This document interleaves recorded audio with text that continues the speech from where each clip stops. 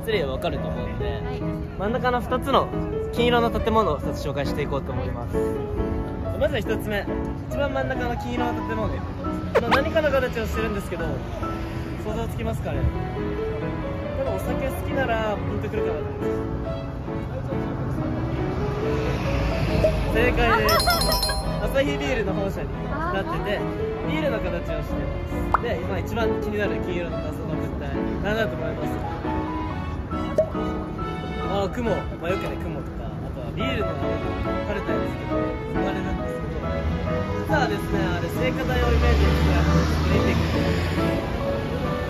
ちょっとはーって感じですよね。見えないですよね。っていうのもあれフランスで作られてるんですけど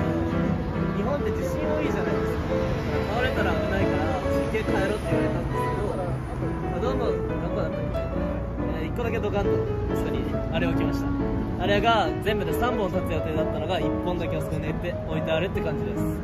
であれができてからアサヒビールのビールの売り上げ1位になったんですよ。えー、すごい。それで地元の人が金運をくれるオブジェだってことで金のうんちビルっていうようになりました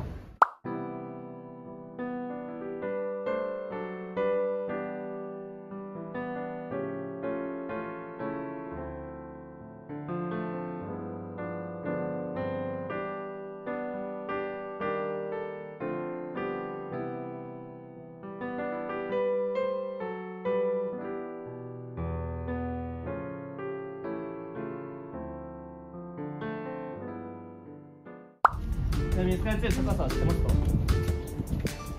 あこれは知らないですね私も知らない知らない634メートルでございますお前方がね武蔵になってますはい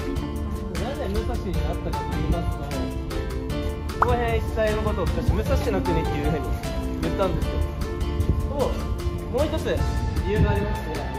カイツリー実はまっすぐ立っておりません左側がちょっと横回ってるように見えますあれが日本刀をイメー。ジして作られてるんですよで刀を持ってるのとお侍さんじゃないですお侍さんといえば宮本武蔵さんあ宮本武蔵さんの武蔵をなぞって武蔵になったと